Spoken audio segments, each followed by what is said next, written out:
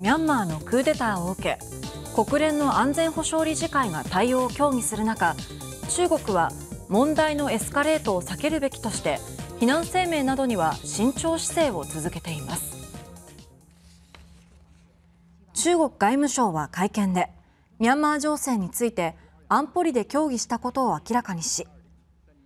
中国はミャンマーが政治と社会の安定を保つよう望むと述べました。